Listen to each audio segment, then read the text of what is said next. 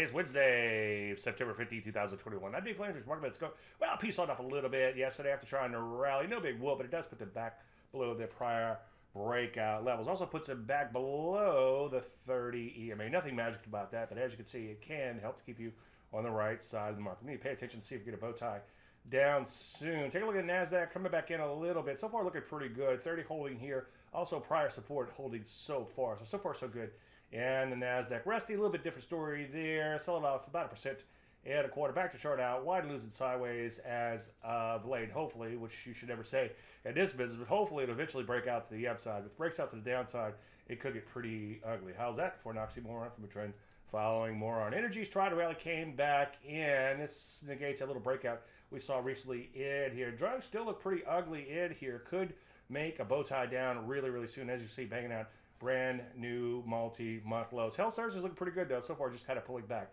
So what am I trying to say? Well, it's mixed, but weakening a little bit in here. Important to see a rally fairly soon. So continue to pick your stocks carefully, of course, and then wait for entries. Any questions, as usual, david at Landry.com. I'm Dave Landry. You started one minute.